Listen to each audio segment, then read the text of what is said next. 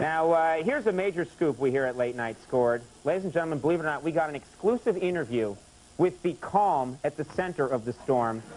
True story, live via satellite. Please welcome the eye of Hurricane Floyd. Let's get the eye down here. Very nice. Good to... So, uh... so, uh, first of all, hello there, I. Why, hello there, Conan. Okay. Now, I, um, there are winds of 80 miles per hour swirling around you, but you are perfectly calm. How do you do it? Well, Conan, I don't sweat the small stuff, and it's all small stuff. Really?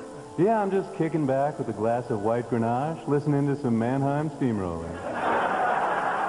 So now, so you don't take any responsibility for the destruction that, that Floyd is causing? Hey, baby, you don't blame the hubcap when the tire runs over your dog, do you? you know, you, I hate to be critical, but you sound like kind of a new age phony. Oh, negativity.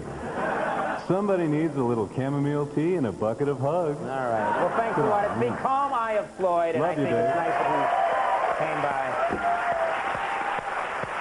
Don't blame the tire. No, the hub hubcap. No.